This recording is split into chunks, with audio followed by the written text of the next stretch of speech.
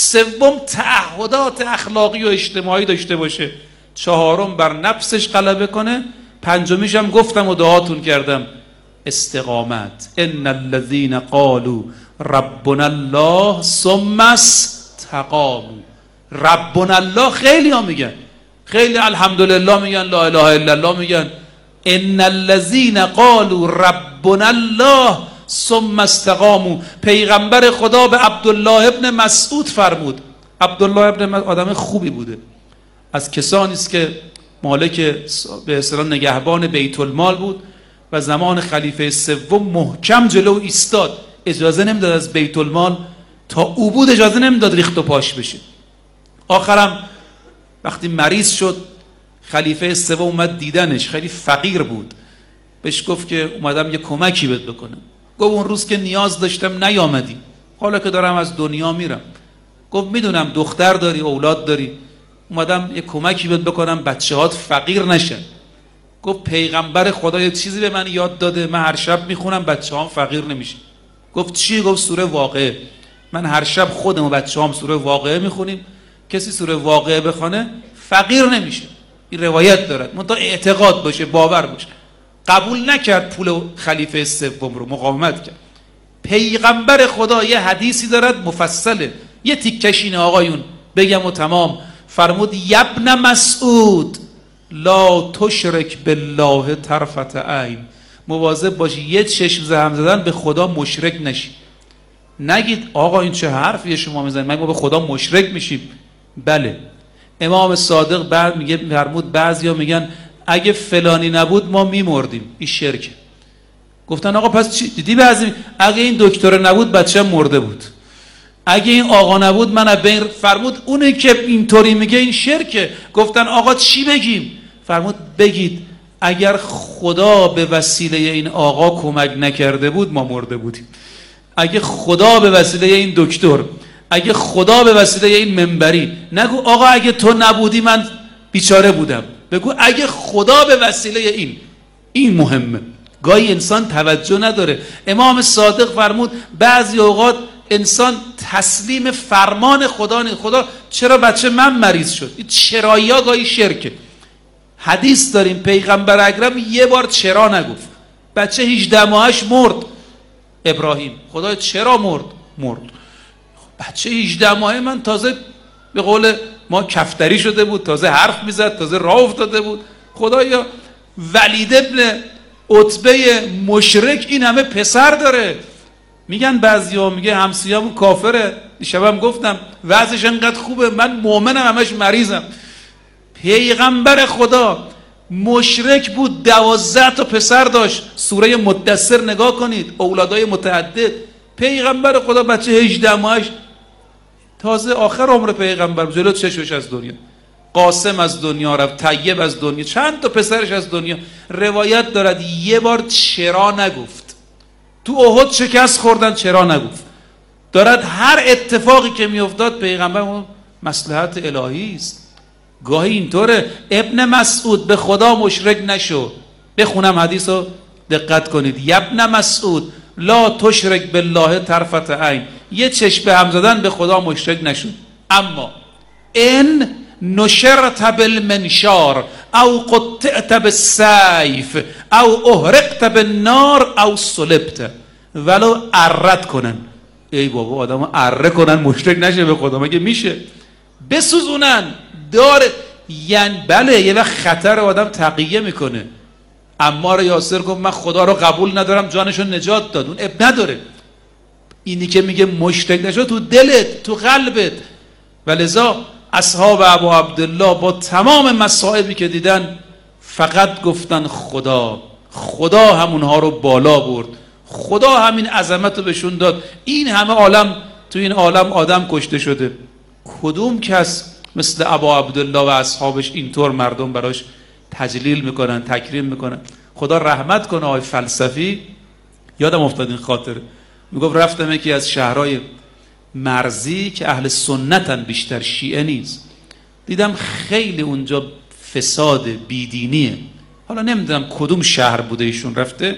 بد هجابی زیاده فساد اخلاقی زیاده. خلاصه علمای اهل سنت اون شهر رو جمع کرده.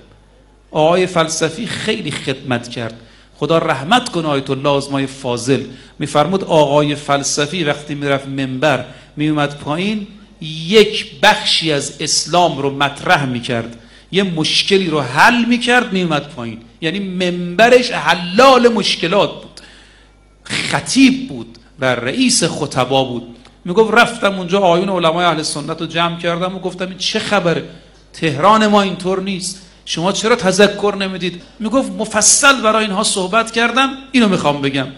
می‌گفت عرایز من که تمام شد یکی از رؤسای اهل سنت بلند شد. گفت آقای فلسفی حرفاتون تموم شد. گفتم بله. گفت خدا قبول کن. دست شما درد نکن.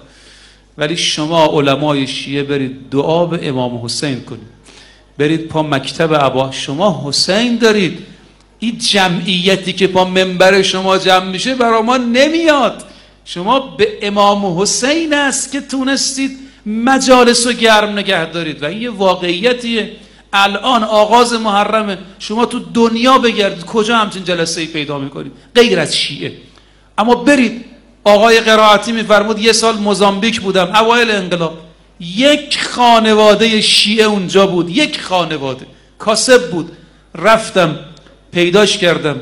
دیدم خود این تو خونش ده شب محرم ابا و عبدالله روزه گرفته. خودش رو منبر میشینه مقتل می‌خونه. زن و دو تا بچهش هم پا منبریشن. یعنی در سراسر دنیا شما امروز اراده هر کشور اروپایی بشید مجلس ابا عبدالله برقراره. تمام کشورها ولو تعداد اندکی ایرانی ولو تعداد اندکی شیعه عراق افغانستان پاکستان.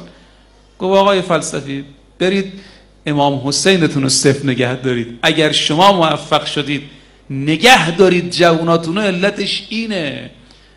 این ابا عبدالله هست که فرمود پیغمبر خدا بهی تسعدون. السلام علیک یا ابا عبدالله و علی الارواح التي حلت بفنائک شب جمعه است شب زیارتی قبر ابا عبدالله است. صحنه که پشت سر ماست یاد میاره برای شما کربلا رو. که کربلا رفتید حرم ابا عبدالله درهای ورودی حرم حرم عباس اول فضل عباس علیه السلام. خوش به حال اونایی که الان تو حرم امام حسین مقابل گنبد و ذریع ابا عبدالله مشغول ارادت و زیارت هستن. خدایا ما دوریم اما امام صادق فرمود فطرس ملک سلام شما رو به امام حسین میرسان. از همینجا سلام میدیم. السلام علی الحسین و علی علی ابن الحسین و علی اولاد الحسین و علی اصحاب الحسین. مرحوم سماوی در ابصار العین می‌گوید پنج تا بچه نابالغ تو کربلا شهید شدن. یعنی پنج کودکی که هنوز به سن بلوغ نرسیده بودن. یکی علی اسقر است یکی امر ابن جناده است یکی قاسم ابن الحسن است یکی شخص دیگری است که اسمش تو تاریخ است یکی از اونها عبدالله ابن حسنه. امشب می‌خوام بریم در خانه کریم اهل بیت امام مجتبا ایشون از کربلا بهره داره امام حسن چند تا از اولاداش و فرزنداش تو کربلا شهید شد. لذا نام امام حسن باید برده بشه تو مجلس ابا عبدالله. چون خود ابا عبدالله نامش رو برده. خودش براش اشک ریخته. آیون جوونا گاهی می‌پرسن آخرین شهید کربلا قبل از امام حسین کی بوده؟ معروف میگن علی اسقر ولی نه.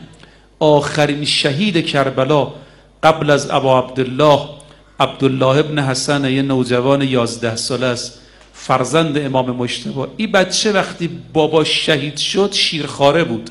درست هشت ماه نه ماش بود. یه سالش بود. تو باباشو ندیده تو گهواره بوده. اصلا پدرش امام حسن رو آد بچه یک ساله چیزی از بابا یادش نمیاد.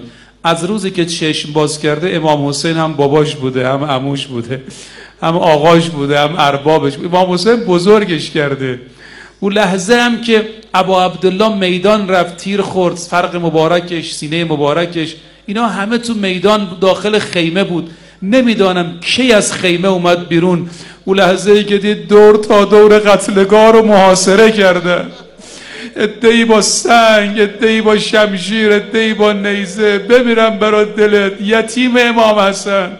تو امشب یه نظری کن به اینایی که گفتن مریض داریم به اینایی که گفتن جوونامون رو دعا کنیم. بی اختیار. با اینکه دستش تو دست زینب کبرا بود دستشو کشید کشید دوید رفت خودشو انداخ رو بدن ابا عبدالله. هرچی امو فریاد زد برگرد. خواهرم اینو نگهش دار. یه نانجیبی شمشیر بلند کرد به طرف ابا عبدالله بمیرم. دستش آورد دستش از بدن قطع شد. بعدم رو سینه ابا عبدالله خون بدنش ریخ رو بدن ابا عبدالله. به شهادت رسید. ابا عبدالله رو در آغوش گرفت. ساعد الله قلبک یا ابا عبدالله. دیدی تو زیارت نامه میگیم حسین جان قربان قلب داغ دیدت برم. قلب ابا عبدالله هم داغ علی اصغر دیده هم داغ قاسم دیده هم داغ برادر دیده. آخرین لحظه بیداغ از دنیا نرفت. عزیز برادر رو سینش جان داد. صلی الله علیک یا ابا عبدالله.